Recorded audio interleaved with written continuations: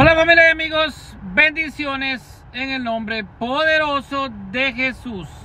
Mi nombre es Elmer Arana, soy apologeta católico, soy miembro del movimiento San Juan 23. Hoy hablaremos acerca de que si el sábado es un mandamiento desde la creación, como afirman los hermanos adventistas del séptimo día. Entonces nos preguntamos, ¿es el sábado un mandamiento de Dios en la creación, como afirman los adventistas del séptimo día? Veremos. Veamos esta gran mentira de, la de esta secta protestante. Según la doctrina de los adventistas del séptimo día, el mandamiento de guardar el séptimo día, o sea, el, el sábado, Dios ya ve, el Creador lo instituyó desde la creación para dar veracidad a su doctrina. Aluden a Génesis capítulo 2, versículos 2 y 3. Fueron pues acabados los cielos y la tierra y todo el ejército de ellos.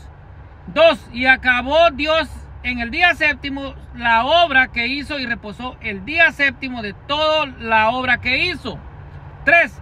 Y bendijo Dios al día séptimo y lo santificó porque en él reposó de toda la obra que había hecho en la creación. Pero como vemos en esta expresión, no vemos indicación de mandamiento. Como podemos leer aquí, no hay mandamiento de guardar. No vemos el mandamiento ordenado a Adán de guardar un día de la semana. No existe. No hay testimonio bíblico que esta expresión fue un mandamiento, pues. Abel dice, no agradó a Dios Yahvé por guardar el sábado. El, el agrado de Abel a Dios Yahvé fue por su sacrificio y ofrenda. Y por su sacrificio alcanzó testimonio de que era un hombre justo, no por guardar el sábado. El no agrado de Caín a Yahvé no fue por no guardar el sábado, fue por pecar en otra forma. No hay testimonio bíblico que no, por, por ejemplo, guardara el sábado y por esa causa Dios le llevó al cielo. La maldad de los hombres en esa generación, según Génesis 6, no fue por causa ni de guardar los sábados, ni por otra causa. Noé, por ejemplo, halló gracia ante los ojos de Yahvé, pero no por guardar los sábados, sino por sus ofrendas, sacrificios que apuntaban hacia el Cordero de Dios que quita el pecado del mundo, que es Jesucristo. Génesis 8, 20, 21.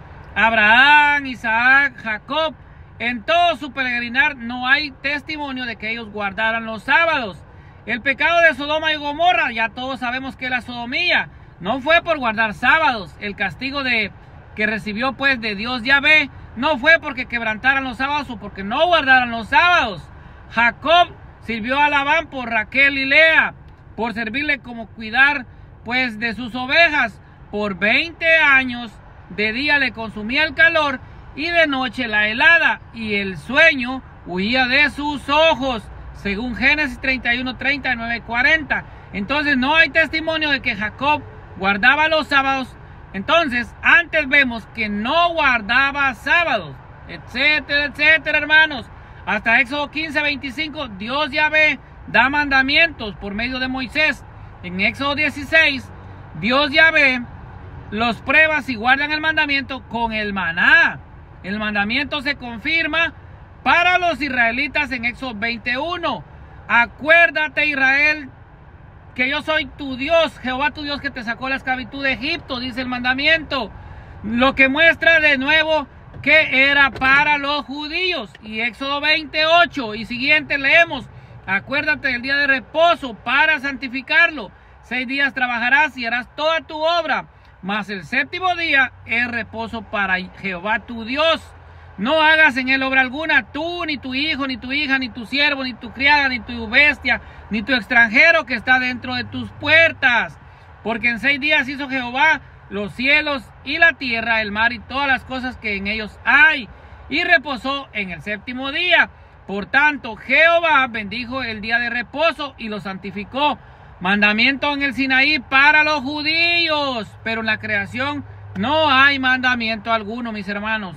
Solo en las imaginaciones de los maestros adventistas del séptimo día, pues ven en Génesis capítulo 2, versículos 2 y 3, como un mandamiento, pero para los cristianos verdaderos, nuestro reposo es Jesucristo. Él mismo nos dice en Mateo 11, 20, 38.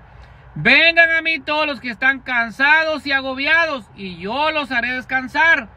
Tomen mi yugo sobre ustedes y aprendan de mí, que yo soy manso y humilde de corazón, dice Jesucristo, y hallarán descanso para sus almas.